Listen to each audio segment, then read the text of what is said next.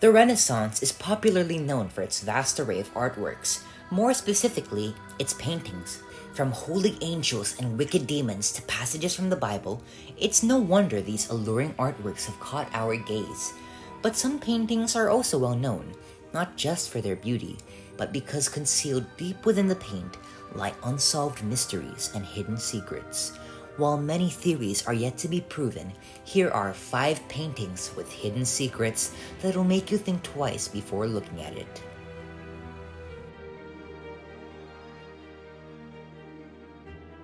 Number 5 The Creation of Adam by Michelangelo.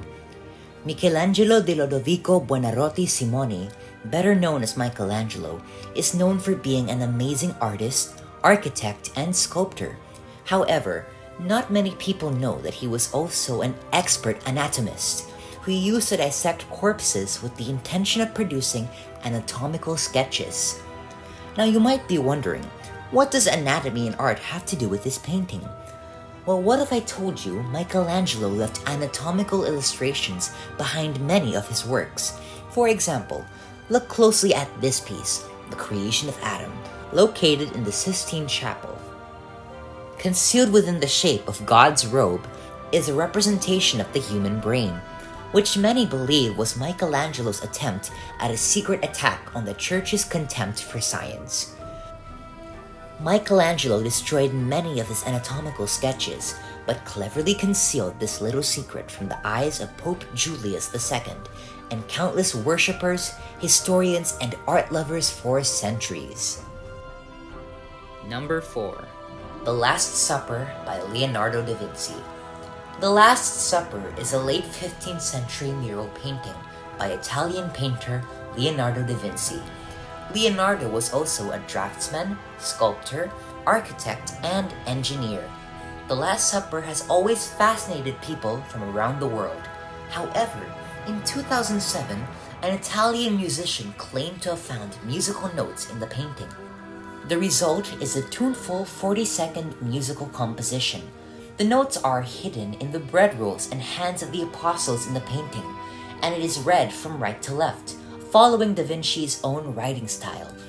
While the theory is yet to be confirmed, many believe that it is plausible, especially since Da Vinci was also an excellent musician.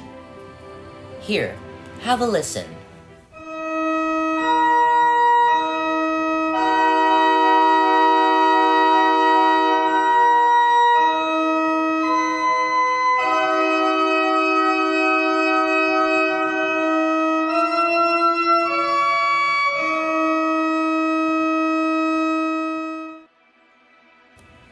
Number 3 The Madonna with Saint Giovanni by Domenico Ghirlandaio. Italian Renaissance painter Domenico Ghirlandaio painted the Madonna with Saint Giovanni in the 15th century, and yet this painting has kept the people baffled until this day. But why though? The painting, which portrays the Madonna with Jesus, appears to have nothing out of the ordinary. But wait, What's that guy looking at? Apparently, the reason why so many people are baffled by this painting is because it features an unidentifiable object hovering in the sky. Greatly detailed, the UFO can be seen near Mary's left shoulder.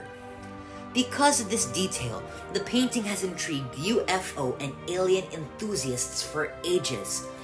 And while there is no agreement regarding the object's nature, its presence makes the painting a truly fascinating one. Number 2. Michelangelo's frescoes on the vault of the Sistine Chapel.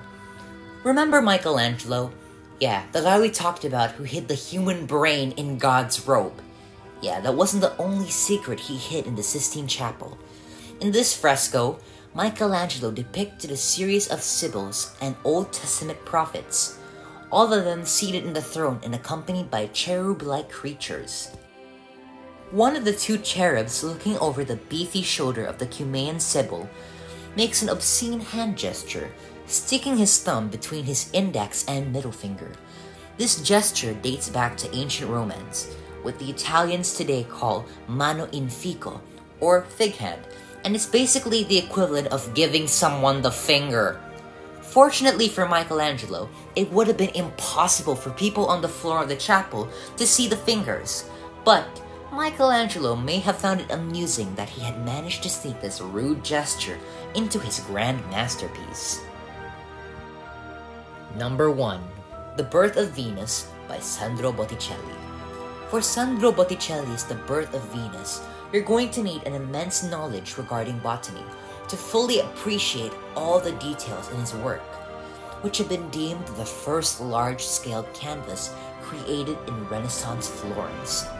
Experts say the painting contains at least 500 individual plants that can be classified as over 200 species, and some believe all of these species thrived around Florence during the spring season of the 15th century.